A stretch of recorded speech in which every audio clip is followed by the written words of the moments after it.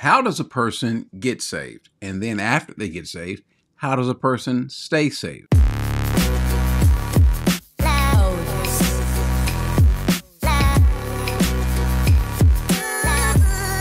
One of the great questions when it comes to salvation, especially for those who might even wrestle with this amongst themselves, is how do you get saved? Well, it's really not that difficult. It's pretty simple. The Bible says, according to matter of fact, let's go to a couple passages. Acts 2.38, let's start there. The Bible says, Peter says, he says, repent each of you, be baptized in the name of Jesus Christ for the forgiveness of your sins, and you will receive the Holy Spirit. Now, we spoke about this before, where and there can be a little bit of ambiguity or uh, unsureness as to what this passage is saying.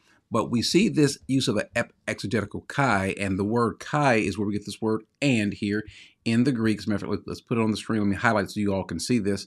Uh, this word right here, kappa alpha iota, which is kai, but it also stands for not just and, but it means namely also even. The reason why that's important is because what he's getting at. He says, repent the Bible knows of no Christian who is not repentant. You cannot be a believer if you have not repented. Well, what does that mean? Well, first of all, it simply just means a change of mind. Does it mean that you've changed from sinning, that you have no sin left to do? You've used up all your sins, there's no more sin in you? That's not what it means. It's you have changed your mind, your feelings, your opinion about sin. In other words, sin bothers you, no matter how great, how small. Whose sins bother you? Yours as well as the world. You don't like sin. Now, does it mean that you are perfect and you will not sin? That's not what it means. But your feelings toward it, it now bothers you, whether it's yours or someone else. So he says, repent, each of you, and be baptized. Now, the baptism is not what some may ascribe that you have to be water baptized or physically baptized to be saved. Remember, Paul said, I'm sorry, John makes a statement when he says, I baptize you with water. But he says, There's one coming after me, not many days forward, who is going to baptize you in the Holy Spirit. And that's what he's getting at here. Be baptized in the name of Jesus Christ for the forgiveness of your sins, and you will receive the Holy Spirit. And this word kai, the shoes here, uh, is you are going to, namely, all of these happening, namely receiving the Holy Spirit. So Jesus Christ is going to baptize you into the Holy Spirit. That is you receiving the Holy Spirit. So repent.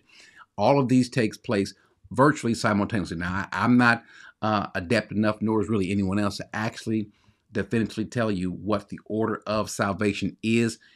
If repentance, baptism, faith, how how far apart are they? Are they simultaneous? We can speculate, but the fact of the matter is they all are there. A Christian is someone who is repentant. A Christian is someone who has placed their faith in Christ, who has confessed. A Christian is someone who has been baptized. There's no such thing as a person who's a Christian who has not been baptized in the Holy Spirit. The identifying mark of every Christian is being baptized in the Holy Spirit. If you don't have the Holy Spirit, then you are not His. As a matter of fact, Paul says in Romans 12 that all of us have been baptized into the body, baptized into the Spirit. And so, therefore, it's the identifying mark. If you are a Christian, all of these things are present. But notice if you look in other spots, other places in the Bible, you'll see the same question being asked about someone being saved. And even Peter himself makes the same statement later on in Acts 16 31. He says, Believe on the Lord. When asked, What must we do to be saved? Peter says, Believe on the Lord and you will be saved. Notice what he didn't say. He didn't say the same thing that he says in Acts 2. Why is that? Is he leaving something off? Well, no, that's not what he's saying. He's just he says believe. There's other passages that tell us that all we have to do is believe. There's passages that says that we have to be baptized, we have to repent. And what we see here is different ways of saying the same thing. Why? Because the only way to be repentant, the Bible says that the Lord grants repentance. This is a change of the heart. We'll get more into the to the mechanics of salvation just a little bit, but a Christian is someone who is repentant. So before I go forward, let's think about all the different ways that the Bible describes a person who is a Christian. One, they are repentant. Two, they are someone who's been baptized, who has the Holy Spirit. Three, another way, someone who has confessed. What does the Bible say in, what does Paul say in Romans 10 9? That if you confess with your mouth that Jesus is Lord and believe in your heart that God has raised him from the dead, you will be saved. And so, what's missing here? Some of the same things that are in other passages, such as repent, such as be baptized. Why? Because he understands, we should understand that it's a different way of saying the same thing. If you believe, if you confess, if you repent, if you're baptized, if you are, another word that we find in John 3, if a person is born again, they are saved. Why? They all relate to the same thing. Now, I'll come back more to the whole issue about being born again because being born again does not make you saved, but being born again is a prerequisite for being saved. And it's an act that you don't do, but that the Lord does. So before I go any further, I want to explain what it means to have faith, what it means to believe. The Bible describes Christians as the believing ones, whoever it is that is believing. And I'm putting an emphasis on the ing, the participle, because that's how the Bible knows us as someone who has entered into a state of believing, continual believing. That's why the participle is used there most often. You'll hear me use this phrase in the Greek over and over again the hapistuans, the Pistuan is the believing ones. And so those that are believing, which is literally what it says in John 3:16, that the believing ones in him will not perish. What does that mean to be believing? What does it mean to believe? Well, there is a superficial intellectual sort of faith, kind of a mental assent, where you understand certain things to be true, and anyone can. Anyone can understand a certain set of facts. Doesn't mean that they're saved. For example, I can believe that this chair can hold me. I can have faith in it. I can even sit down, but it may not be that I have true faith in this chair. And I've used this example before, and I'll say it again. True faith in this in this chair is what I do as I sit in this chair. That that's how I demonstrate this true faith. It's not the kind of faith where I don't have full assurance in it. In other words, when I sit down in this chair, I do not get a wide base and brace myself just in case the chair falls. I do not grab hold of this desk and hold on with the wide base just in case this chair falls. I do not strap wire from the ceiling to hold the chair while I'm bracing myself while I have a wide base just in case this chair falls. Rather, instead, what will I do? I will relax in this chair. I will abide in this chair because I'm fully confident that this chair can hold me. And what can I do while I'm resting in this chair, while I have confidence in this chair? I can actually go to work. I can type on the computer, I can search things, or I can do what I'm doing now. And none of these things that I'm doing now have I ever once thought about or gave any kind of concern or worry about what this chair is doing. That is an example of faith. I've got faith in this chair. The same thing about faith in Christ. After I have faith in Christ, I'm not worried again about me not having faith. I'm not worried about my salvation. Now my focus is my working in my salvation which is what the passage says. When it says, some translations will say, work out your own salvation, it's really in view of your salvation, now work. But Corey, don't we have to abide? Sure, we have to abide. Every Christian has to abide. The Bible knows of no person who stated that they had faith in Christ, who understood what Christ did for them, and did not abide, did not remain, did not keep believing, did not keep following. As a matter of fact, Jesus makes a statement in John 15, 3. He says, You are already clean because of the word which I have spoken to you. Abide in me, and I in you, as the branch cannot bear fruit of itself unless it abides in the vine. So neither can you unless you abide in me. Now, a couple things. He's one speaking about them bearing fruit in him, but he also goes on to say that if you don't abide in him, then you will be cut off. If you don't bear fruit, you'll be cut off, thrown in a heap, withered up, gathered up, and thrown the fire.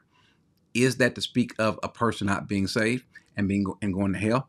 Well, sure, I have no problem with that. The issue is, does that mean that if we don't abide, we will go to hell? Sure. But Jesus makes a statement later on in John 15. He says, You did not choose me, but I chose you and appointed you that you would go and bear fruit and that your fruit would remain. So now, the issue is if you are truly a faithful believer in Him, then your abiding is going to continue. You are going to continue abiding. You will remain. You will keep believing. You will you will keep following. Because he tells us in places like Jeremiah and Ezekiel that once his spirit is in us, then we will never turn away from him, nor will he ever turn away from us. As a matter of fact, if we go to Ezekiel 36, yes, this is speaking about specifically Israel, but this is also ascribed to us in John 1. But he says, I will put my spirit within you and cause you to walk in my statutes and be careful to observe, observe my ordinances. So we will never walk away from him if we have the spirit in us. Now, how does that happen? How does a person get saved? Well, Jesus addresses this. He says in John 3, he says, unless you are born again, he, you cannot see the kingdom of God. But being born again comes from this Greek word, ganethe anothim, which we see here, ganethe, which is to be born, anothim. This, in this case, is born from above, born from heaven. This is a work not of you, but a work of God. Once that happens, a person makes places their faith in Christ.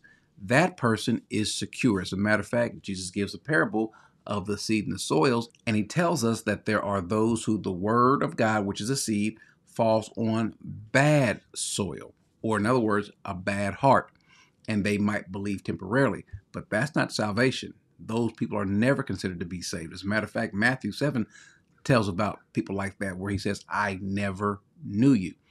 But he goes on and tells that those who heard the word and received it in a good heart, that's the good soil, then that person will be saved.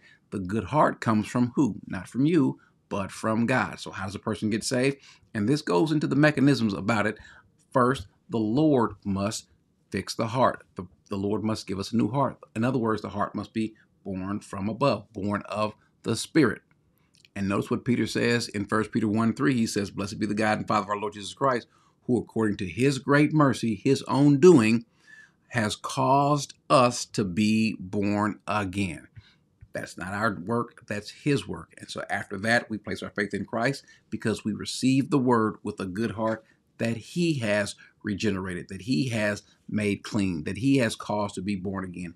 And then we will indeed abide in Him. As a matter of fact, John tells us that because of that, He will cause us to overcome. He says, uh, You are from God, little children, and have overcome them because greater is He who is in you than He who is in the world. Who's the He? The Holy Spirit.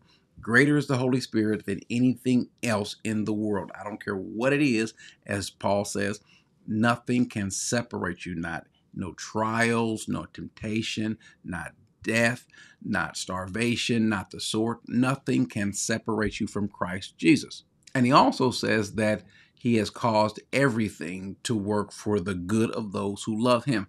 Think about that for a second.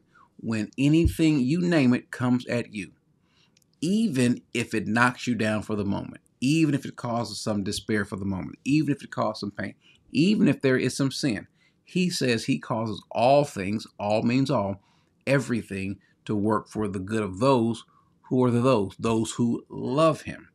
So if you are in, him, if you are if you have placed your faith in him, if you have confessed, if you have repented, if you've been baptized, if you're a disciple, if that's you, everything is now going to work for your good. Maybe not the good that you think it should, how you'd like it, but according to how he does. He is the one that's working this out. And here is the truly good news. He says that if you or whoever believes, this is where we get this word hapistuan, the believing one, if you say, or whoever believes, that person has eternal life. He says, eke, that's present tense. He has it right now. In other words, if you place your faith in Christ at 830, then there's no reason to believe that at 8:35 today or 8:35 next week or next month that you don't have life. He says you have it right now and you'll have it forever. Otherwise, the word eternal or life into the ages would not be used. So, how do you get saved? By placing your faith in Christ. How do you stay saved? That is going to be a work of Him. Now, do we think about that as we're getting saved? When a person places their faith in Christ, do you say, well, the Lord has worked in me, has chosen me, has regenerated my heart. That way I'll get saved. No, you don't think about that. What you think about is your own fallenness. You are confronted with the fact that you are a sinner. You believe that you need saving and you can't do it yourself. You recognize how bad you are while at the same time recognizing how good He is and that He saved you. And anyone that places their faith in Christ, regardless if you believe you can lose your salvation or not, regardless if you believe that you were chosen or elected or not, if you do that, well, then fine. Now, once we go back and learn the mechanism behind it, what God is actually doing, because I think it's important to appreciate that He actually was the one that did the saving. Who would have thought? He is the Savior. The Savior saves. And if He saves, He saves to the uttermost. If you are free, what does Jesus say? You are free indeed. So, ladies and gentlemen, that's how you get saved. That's how you stay saved. And so then what do you do? you rejoice at the fact that you are saved. Amen.